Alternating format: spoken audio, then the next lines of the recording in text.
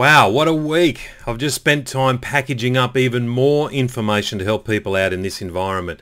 Uh, I've called it the sales leader, uh, selling from the kitchen table. Why? Well, that's what a lot of people are doing right now.